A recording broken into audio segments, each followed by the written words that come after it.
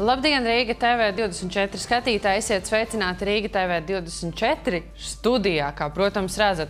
Šīs dienas galvenā saruna tēma - psihiskās un garīgās saslimšanas Arī depresija un arī tas, eh, kā vai sabiedrība ir informēta par šīm saslimšanām, par simptomiem, māk tās atpazīt un ir pietiekami toleranta pret cilvēkiem, kuri cieš no kādām no šīm saslimšanām. Vēl arī mums bija svarīgi noskaidrot to, vai atsevišķu augstu amatu profesiju pārstāvi tiek kādā veidā psiholoģiski pārbaudīti pirms stāšanās amatā. Tā skaitā, vai, piemēram, sabiedrisko transportu pārvadātāji un pat līdmašīnu piloti piemēram, Latvijā tiek psiholoģiski pārbaudīti pirms brīža, kad tie stājas savos amatos. Un tā jau šorīt no rīta pulkstens pusdeviņos eh, no rīta varējāt dzirdēt mūsu uh, sarunu ar kādu pilotu, kurš tad stāstīja par to, kādu pārbaudījumu tieši ir jāaiziet šiem te pilotiem pirms sēšanās pie uh, avio lidmašīnas stūras kā arī pulkstenes trijos varēsim pavērties kādā sociālajā eksperimentā, kuru mūsu kolēģi devās ar slēpto kameru uz darbu pārunām. Un pavisam atklāti runāja par eh, dažādām garīgām saslimšanām, kuras it kā tai piemītot, tādējādi cenšoties noskaidrot, vai arī cilvēkiem būs iespēja teiksim, tā, iegūt šo darbu, neskatoties uz smagām garīgām saslimšanām. Bet turpinot šo te visu tēmu par darba tirgu un to, kādas pārbaudas tiek veiktas eh, cilvēkiem pirms stāšanās amatā. Mēs cenšamies noskaidrot arī tuvākajās minūtēs. Un mana kolēģe Baiba ir devusies uz psihosomātisko klīniku, kurš sarunāsies ar Andri Mītskānu par to, ka darbs un garīgas problēmas, kā to apvienot, kādas pārbaudas tiek veiktas, ja tiek veiktas pirms stāšanās amatā. Tas viss turpmākajās minūtēs.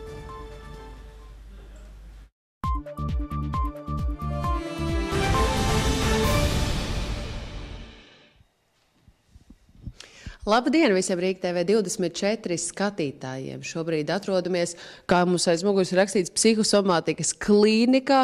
Noskaidrosim arī, kas tad ir īsti psihosomātika, bet, lai to visu noskaidrotu, mums vajag arī kādu kompetentu cilvēku, kas mums mācēs atbildēt uz šiem jautājumiem. Tas ir Arturs Miksons, kurš man šobrīd ir pievienojis arī uz sarunu. Sveiks! Sveicināt!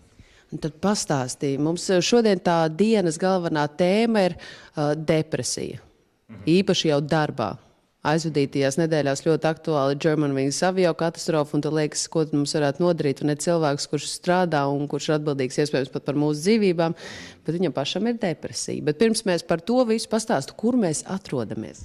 Mēs šobrīd atrodamies Rīgā kapsuļielā 23, kur atrodas Rīgas Stradiņa universitātes psihosomatikas klīnika, kur galvenokārt ārsti šeit praktizē gan psihoterapiju, gan šobrīd nesen tika kādreiz eh, atklāts arī bērniem smilšu terapijas kabinets. Um, tā kā nu, galvenokārt šajos virzienos nodarbojamies galvenokārt ar psihosomatikas izpēti, darbu ar, par un ap psihosomatiku. Galvenokārt. Kas ir pati psihosomatika? Eh, psihosomatika pēc būtības ir cilvēka teiksim, jūtu un emociju ietekme uz viņu, viņa fizisko ķermeni, kā viņi savā starpā miedarbojās, kā viņi ietekmē viens otru, bet galvenokārt mēs nodarbojamies ar tā, cilvēka emocionālās pasaules izpēti un viņas nozīmi. Laikam jau tāds cilvēks, cilvēka emocionālais stāvoklis ir gana svarīgs, vai ne? Ne tikai saziņā ar citiem, bet arī darbā. Un, uh, mēs šodien paši arī veicām, mums kolēģi veica tādu ļoti interesantu pētījumu, kur arī skatītāji vēlāk varēs redzēt. Un tad izrādās, ka da, tikt pie darba ir pavisam vienkārši arī tad, ja tu pats godīgi atzīsties darba devējiem, ka tev ir bijusi tāda depresija un ka tu esi ārstējies, nu, ka iespējams tev uznāk kaut kādas panikas lēkmes.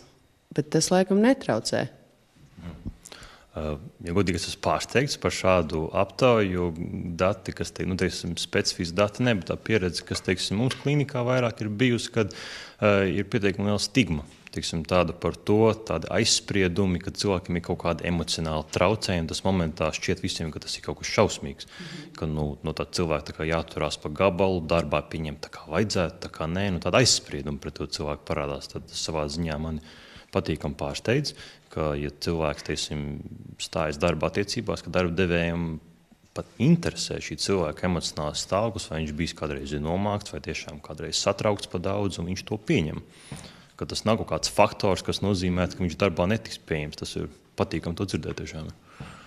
Bet, uh, to vispār vajadzētu ņemt vērā, vai cilvēki, kuriem tomēr ir depresija un kādi emocionālas grūtības iespējams, vai tas ietekmē to saziņu un saskaru un kā ar to vispār tik galā? Um. Kaut kādā mērā es pieņemu, tas jāņem vērā būtu, bet nu, ja mēs tā ļoti pragmatiski tam pieiet, ne visiem cilvēkiem ir kaut kāda emocionāla rakstura traucējuma. Jautājums, vai tas ir lielākā vai smagākā mērā. Citiem cilvēkiem tas rezultēs tiešām ar smagu depresīvu stāvokli, citiem tās ir ļoti bieži panikas lēkmes. Citi trīc, raustās, vēl kaut ko, bet dažiem vienkārši iespējams tie ir kaut kādi emocionāli pārdzīvojumi, kas nenonāk līdz tik smagiem stāvokļiem, bet viņi vienkārši ir. Un mūsdienu sabiedrībā jau tā problēma ir tāda, ka par šiem emocionāliem traucējumiem netiek runāts. Tā ir tāda tabū tēma savā ziņā. Citiem nedrīkst paust, kā es jūtos, ko es domāju, jo tad ko citi par mani padomās tajā brīdī. Līdz ar to šī virzība uz to, ka pat darba devēja interesējās par teiksim, savu darbinieku teiksim, emocionālo labsajūtu, manuprāt, tas ir tikai progress uz priekšu.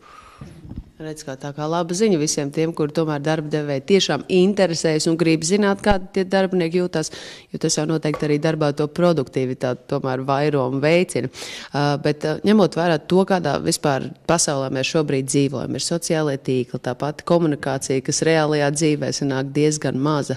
Uh, vai tas arī varētu būt viens no tiem iespējiem, kādēļ cilvēki jūtas nepārliecināti par sevi un varbūt pat slīgs depresijā? Um, grūti būtu komentēt, vai tieši sociālo tīklu to dara, bet jā, sociālai tīkli lielā mērā atņem šo verbālo komunikāciju, uz ko mēs uh, lielā mērā liekam uzsvaru šeit, psihosomatikas klinikā, ka teiksim, tā, nu, tas priekšstats šķiet, nu, ar ko mēs te nodarbojamies. Atnāk, nu, mēs vienkārši nu, runājamies.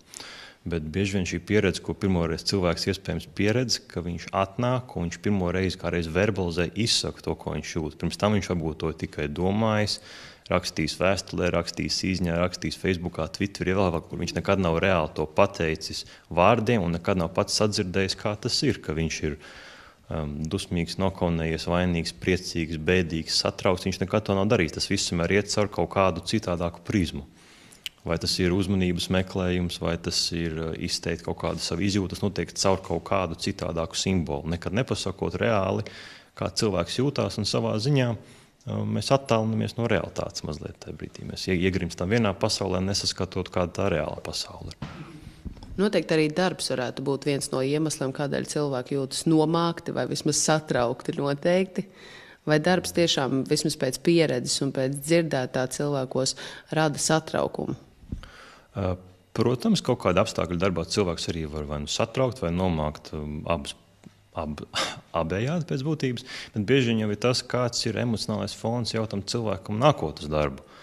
Uh, Viena teiksim, lieta, ko jūs sākumā pieminējāt par šī, šo Germanwings traģēdiju, ka um, cilvēks jā, bija depresīvs, viņš, tas, ko viņš izdarīja, ko viņš izdarīja, labi, bet tad jautājums ir, uh, kā to varēja teiksim, nepamanīt, vai kurā brīdī kāds kaut ko palaid garām. Ne ar tādu mērķi, lai meklētu vainīgos, tagad tur rādītu pirkstu, kurš tagad ir vainīgs, bet vairāk saprastu, um, kā tas īsti notika un kā to novērst uz priekšu. Um, Nesenā kādreiz ziņojumā man nācās lasīt, ka Vācija kādreiz šobrīd vēlas pastiprināt šos medicīniskos izmeklējumus, lai tāda traģēdija Dievdēļ vairs nekad neatkārtotos. Uh, Saudabīgi bija lasīt, ka tas, ko viņi vēlās darīt, ir palielināt laboratorisko izmeklējumu skaitu, lai um, tā, samazinātu iespēju, ka cilvēki, kur lieto narkotiskos līdzekļus un antidepresantus, nebūtu darbā. Kas man rada uzreiz jautājumu, ka momentā tiek radīts iespējas, ka tie, kas lieto antidepresantus, ir slikti. Kad tas atkal rada momentā stigmu, ka cilvēki, kur lieto šos medikamentus, ir, nu, tas ir tabū, nedrīkst. Narkotiskā līdzekļa labi, tā ir atsevišķa saruna pavisam, bet, teiksim, medikamentus. Um, nu, varbūt cilvēkam ir kaut kāds periods dzīvē, kur, lai viņš tiktu cauri, viņam šis medikamentu atbalsts kaut kādā brīdī ir ne, nepieciešams.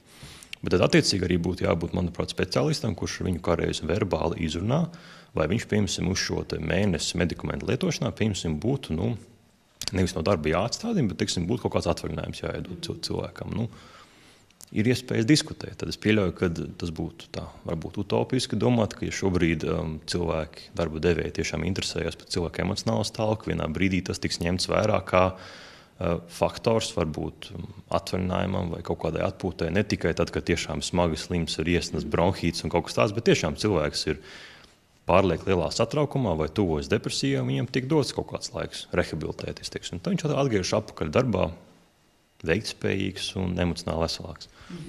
Lūk, jūs jau minējāt arī, ka jāmeklē, kā, tā, kā to varēja palaist garām un kurā brīdī. Tad vai pats arī var saprast un apzināties, ja man ir šī depresija, vai arī līdzcilvēki to vairāk pamana nekā pats cilvēks spēj apzināties, ka viņam ir šīs emocionālās grūtības? Te būtu jāsaka tā, es pieņemu, ka daļa cilvēku varbūt apzinās, ka viņiem ir grūti, netik, varbūt viņi ne, nesauks to par depresiju, bet viņi ir nomāktāki, sagurušāki, um, dažādas nepatīkamas emociju varā, teiksim, viņi ir. Bet atkal nāk klāt tā stigma, ka negribās to atzīt nevienam. Kā to saskatīs darba devējs, kā to saskatīs kolēģi, kā to saskatīs rada draugu un paziņas. Uh, divējādi var iet situācija. Viens, tu kādam pateiksi, ka tu esi nomākts, tu iespējams ir depresija, viss būs, o nē, nu viss strādāt nevajag. Uh, citi savukārt teiks, ak, tu nabadzīgs, mēs tev palīdzēsim. Līdz to tas pašam cilvēkam iekšā rada dažādas izjūtas. Viens varbūt viņš negrib, lai viņi te visu tevi žēlo un atbalsta. No otras puses, viņš varbūt baidās, ka kādreiz visi atstums. Pateiks. Tas ir atkarīgs individuāli no katra cilvēka. Bet, um, cilvēks, es pieļauju, pat ja viņš neapzinās, teiksim, tā, ka viņam ir depresija, viņš to jūt. Tas ir tas, uz ko mēs arī šobrīd strādājam. Ka daudz cilvēku, ja ir uztraukti, viņi to saka, nē, es neesmu uztraukts, viss ir kārtībā. Tāpat laikā visur ir zostāda un mati gaisā. Apmēram. Kad cilvēks jau to izjūt iekšēji, ķermeniski un emocionāli viņš izjūt, bet tas jautājums, cik viņš vēlas savai apziņai to atļaut saprast, tā ir cita saruna. Bet kas ir tie pirmie kā, nu, sensori, teikt, kas tad liek saprast, ka ir šī depresija? Uztraukums vai nu kaut kas? Uh, uztraukums arī var būt, bet teiksim, tā es to vairāk sauktu par depresīvu stāvokli. Vai tā būs tīra depresija, tas jau mazliet citādāk ir. Uh, depresijas gadījumā um, tas, ko cilvēki varbūt tā pirmā brīdī palaiž garām, ka tur nav tik ļoti tiksim, pie vainas, vai tas dziļākais nav uh, nomāktums, bet tur ir tādas. Um, dusmas, aizkaitinājums cilvēkam, kas ir daudz, daudz dziļāk. Teiksim, tā tīri emocionāli, pie kura cilvēks vēl teiksim, tā apzināti pieskarties nevar. Viņš jau ir no kaut kāda brīža, jau kādu laiku apspiež. Visu laiku spiež, spiež vai nu no darba, vai ģimenē, vai draugu lokā kaut kur. Tas tiek kāpināts visu laiku, un cilvēks ar to īsti netiek galā. Un šī emocija, kā mēs runājam, netiek verbalizēta. Viņa tiek apspiesta visu laiku. Problēma ir tāda, ka viņi izmanto ļoti daudz enerģijas. Tīri iekšēji, fiziski, un līdz ar to, kas parādās, sliktāk naktīs guļ. Parādās nogurums, nomāktība, darbā paliek grūtāk, bet aiz tā, ka tā enerģija jau tiek izmantota, lai apspiestu visu laiku to milž, milzīgo kaut kādas dusmas, varbūt pat agresiju. Tas izpaužas pilnīgi pretējā reakcijā. Tā kā negrib nevienu runāt, īsti negrib nekur iet, negrib neko darīt, un vienā brīdī cilvēks iespējams salūst. Tā agresijai vairs enerģijas nepietiek, lai viņu apspiestu, un tad viņi nāk uz ārā. Vien, vienā brīdī, diemžēl, kad piemēram ir suicīdi dažādi, kas savā ziņā arī šajā gadījumā, viņi to vērš pret sevi. Viņi nezina, kur likt šīs dusmas, viņi izpaust nevienam nevar, jo viņiem bail, ka viņi nodarīs citiem pāri. Nu, šī gadījumā tā situācija tāda mazliet dīvaini sanākusi, bet nu, tā, cilvēkiem ir tīri suicīdāls domas, viņi to realizē tikai pret sevi, nevis ņemot līdzi vēl citus cilvēkus. Tā agresīva iznāk, tāda paša agresija savā ziņā iznāk. Tad viens no galvenajiem jautājumiem būtu noteikti, tad, kā saglabāt to savu emocionālo un psiholoģisko veselību. Būt tā uz strīpas un tad neaiziet tik tālu, ka visu laiku turam to visu iekšā sevī. Uh, lielā mērā jā, tas ir tāds burbuļu recepts, kur daudz cilvēku jautā, vēlās, kā tad īsti emocionālo veselību saglabāt. Un, nu, Diemžēl tāds burbuļu recepts nav, bet vienīgais, ko mēs visu laiku norādām, ir, um, pirms brīdi runājot to, ka cilvēks šiem sociālajiem tīkliem, daudzām citām lietām attālinās no realitātes. Un tad tāds globāls termins, ko mēs varētu teiksim, teikt, ir cilvēkiem būt vairāk kontaktā ar realitāti. Saprast, kurā brīdī mēs jūtamies, kāpēc mēs tā jūtamies. Varbūt ne tik daudz mm, mēģināt analizēt, varbūt tas neizdodas pirmā brīdī, bet tīri pieņemt, ka mums kaut kādas izjūtas ir. Tā kā, teiksim, Piemēram, daudzas izjūtas kaut kādā sabiedrības slāņos vai pat dzimumos tiek noliegts. Nu, pieņemsim, no bērnības jau tiek audzināts puikām, ka puikas neraud. Mm -hmm. Nedrīkst skumjas puikām nav nekādā ziņā. Līdz... Protams, tas ir pilnīgs absurds. Līdz ar to um, visa emociju buķete, kas ir, prieks, bēdas, um, skumjas, dusmas, vaina, kauns, aizvainojums, nicinājums, riebums ir vajadzīgs cilvēkam. Jautājums, cik lielā mērā un kurās situācijās. Cilvēki, pieņemsim, kad um, beidzas attiecības, vai piemēram šādā traģēdijas gadījumā, vai kad teiksim, kaut kas tiek zaudēts dzīvē, mazums, darbs vai kaut kas, cilvēks pārdzīvo. Tas ir normāli, ka viņš tajā brīdī jūtas skumji, un viņam tas būtu jāizsēro kaut kādā mērā. Viņš arī kaut kādā brīdī var raudāt, vai pēc traģēdijas, kas ar viņu pašu notiek, pēc traumas. Bet tas tik dziļi jau tiek iesēdināts, ka nedrīkst to darīt. Tā emocija viņš jau viņu izjūt, viņš viņu neizpauž. Un tad viņi tur kapsulējās, iekšā sēž, sēž, sēž. sēž prognozēt, kas ar viņu notiks tajā brīdī, kad viņš viņu visu laiku apspiež, nu, arī būs grūti.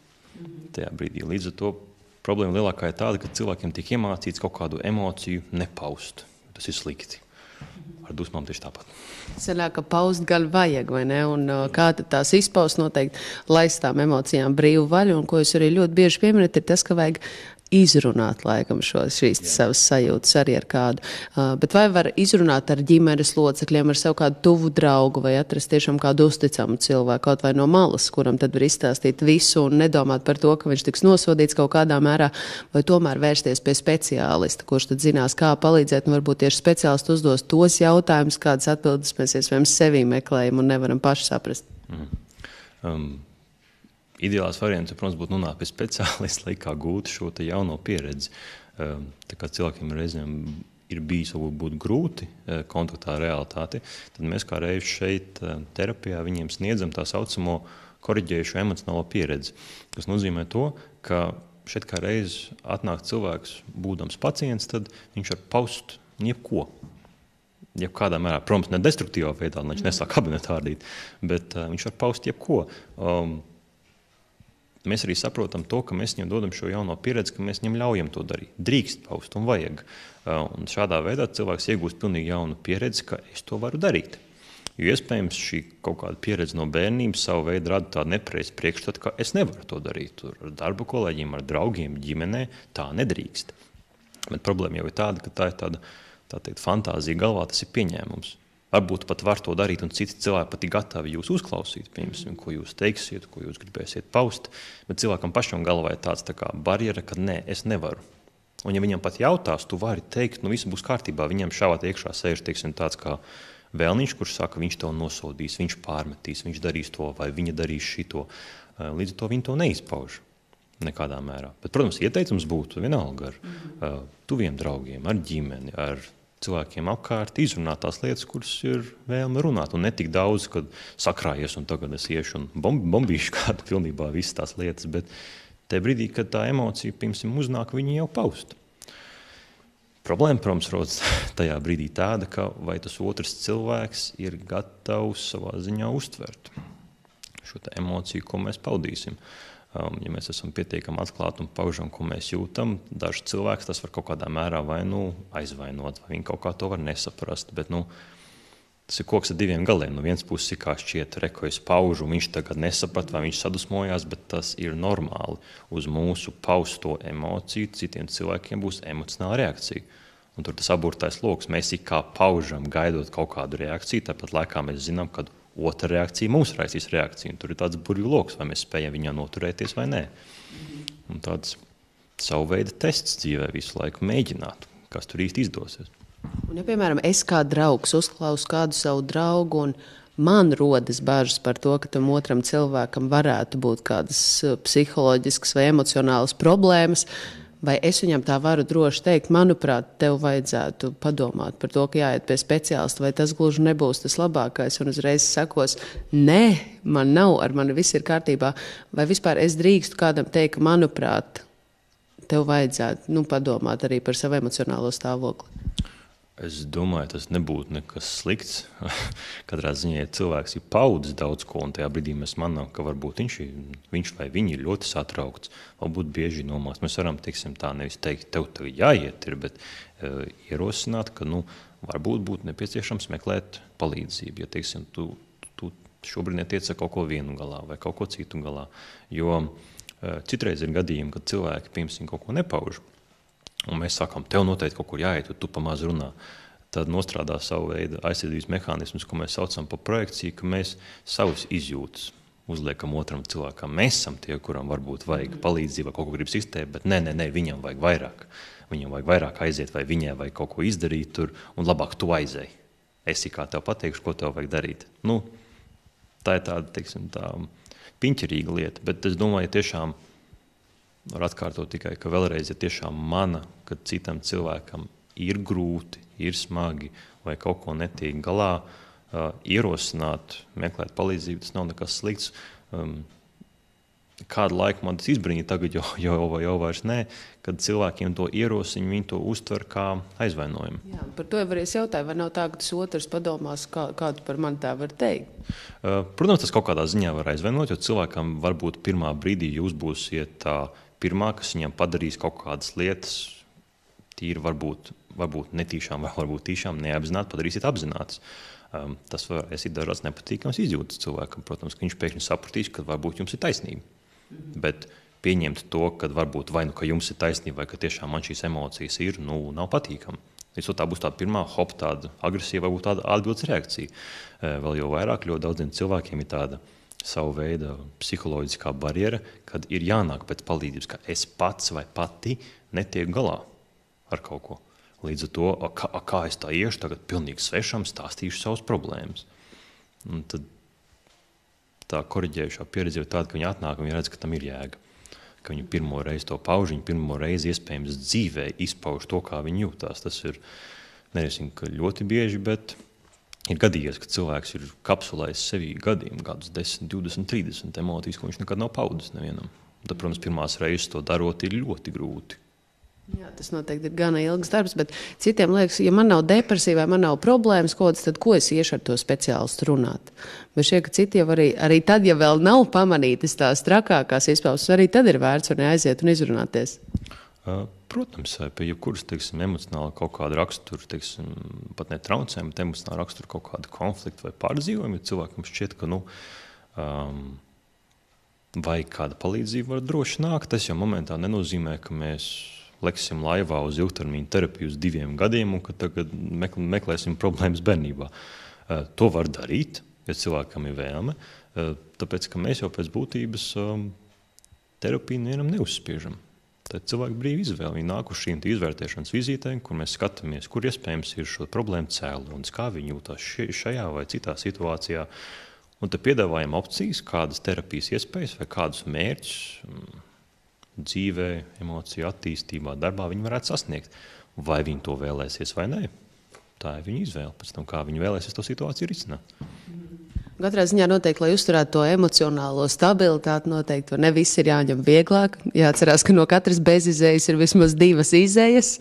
Kādi vēl būtu ierosinājumi skatītājiem? Um, katrā ziņā es varu laikam atgriezties tikai pie tā iepriekšējā, ka būtu savā ziņā konstatēta realitāte. Censties vismaz izpaust tās jūtas, cik mēs varam sev atļaut to darīt.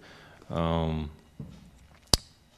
pieņemu, viens, ko vajadzētu kliedēt, ir tas, ka um, atmest varbūt to ideju, ka domāt pozitīvi. Tas būtu viens, ko gribētos uzreiz paņemt, varbūt malā, jo tas savā ziņā rada iespaidu, ka vienmēr vajag saskatīt kaut ko pozitīvu. Kam savā ziņā var piekrist, bet jāsaprot arī tas, ko mēs runājam, kad puikas apmēram neraud, ka ir situācijas, kur ir jājūtas dusmīgam, ir jājūtas varbūt kaut kāda situācijas, kur nāk tā vaina, kur nāk skumjas. Tās emocijas ir daļa no mums, viņas nevajadzētu noliegt. Viņas pastumjot malā, mēs principā atņemam daļu no sevis. Tajā brīdī cilvēks īsti to neapzinās. Viņam šķiet, ka nu, priekš kam man to vajag. Bet cilvēkam to vajag. Lai viņš kādreiz būtu emocionāli vesels, viņam šī buķete ir jāpieņem, jāizjūt, un tad jāsaprot, ka tā ir daļa no viņa mhm. kaut kādā mērā. Tas, protams, prasa pietiekami daudz laika, pacietības un emocionālu nobriedumu arī kaut, kaut kādā mērā. Redz, kā skatītāji, esam saņēmuši vairākus padomus, un tagad pašiem arī jāsāk domāt, kā tad mēs visi iekšēji jūtamies, vai ir vērts ar kādu iet parunāties, un nu, turēt sevī noteikti nebūtu tā labākā ideja. Vai neteikšu tev paldies par sarunu, Artur, bet mēs gan šobrīd atgriežamies studijā pie Ievas. Paldies manai kolēģei Baivai. Iepriekšējās minūtēs mums bija iespēja vērties sarunā ar psihosomatikas klīnikas pārstāvi un Baivu par to, kā tad noteikt to, ka ir depresija, kāda ir pirmie simptomi un kā ar to cīnīties un ar ko vislabāk konsultēties šādas depresijas gadījumā. Bet eh, turpmāk jau reklāmas pauze un pēc reklāmas pauzes vēl kāda intervija un šoreiz ar Rīgas domas labklājības departamenta pārstāvi Vivitu Ķīkuli, ar kuru mēs aprunāsimies skatīsimies par to, cik ļoti sabiedrība ir informēta par šāda tipa problēmām, jeb garīgām saslimšanām un depresiju. Kāda ir šā brīža cilvēku attieksme, varbūt kāda statistiska rādītāja pret uh, cilvēkiem, kurus irkst ar depresiju, kā arī kādi pasākumi jau ir veikti sabiedrības informēšanai un kādi vēl tiek plānot, lai sabiedrība informētu par depresiju, depresijas simptomiem, kā arī cilvēkiem, kas ar to sirkst un kā vislabāk ar šādu tipu cilvēkiem komunicēt. Tas viss pēc reklāmas pauzes pulkstens pusdivos, bet šobrīd dodamies neilgā atpūtā.